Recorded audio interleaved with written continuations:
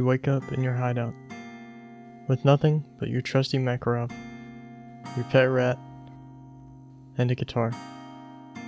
That is your welcome to Paradox of Hope.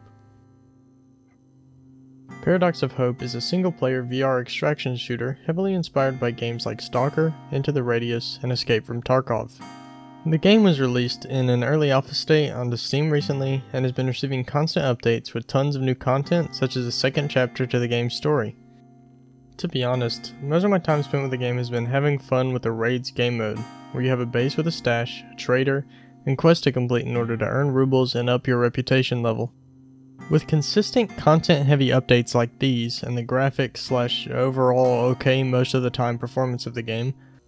Oh no, I'm lagging. It may be hard to believe, but this game is being developed by a single person. That's already too much intro. Let's get to the game. So you start with a Makarov with no mags, a lighter, a knife, and some other basic garbo. You get 800 rubles. You can go to the trader to buy a couple mags if you want, gaze longingly at the wonderful things you are too poor to buy, and then go into your first raid. You are greeted by darkness. And if you don't do the tutorial like an idiot, you won't realize that you have a lighter until near the end of your second raid and wander through the darkness for an hour and a half. I was going around not being able to see anything when I had a light this entire time. There are big doors you have to find a valve to open. Wooden boards you can break through sometimes. What's the deal? Can I break this? I don't think I can break this. Well, this is breakable. And I'm out of bullets. And of course, terrifying mutants that run at you and make you shit all over yourself. Oh my god.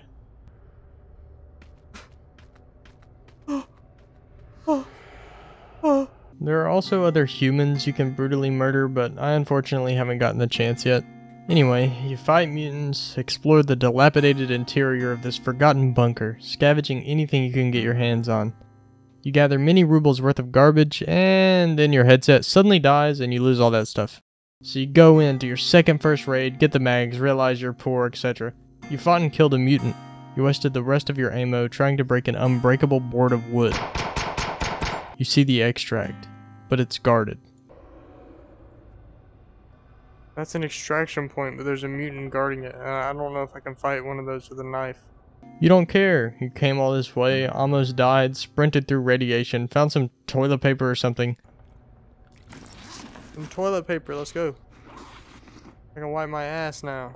You have to bring back something to show for your efforts. So you pull out your comically large knife, and you reluctantly charge forward. Hey, pussy fart. So stupid.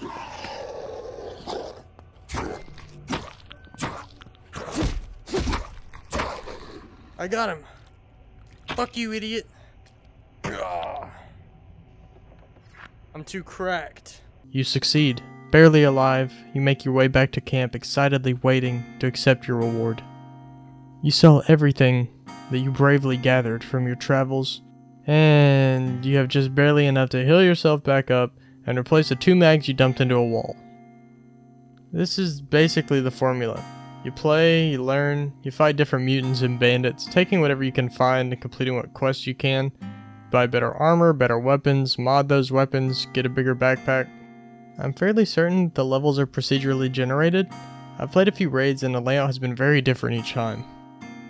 I've played the story too, and it's good, but I don't want to talk about it and risk spoiling it for those of you who wish to play the game. So now, the final question. Do I recommend the game for the price in its current state?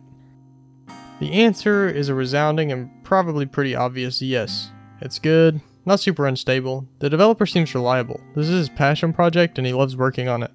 He's always answering the community's questions in his Discord. I've been following the game since it was made public, and now that I've played it, I can safely say that I'm not disappointed. With the variety in gameplay options, the depth of the raid systems, and an incredible combat variety, this game is definitely worth the $20 price tag. You're also supporting a solo developer, which feels nice. That being said, if you made it this far in the video, be sure to like and subscribe. And I'll see you all next time. Peace out.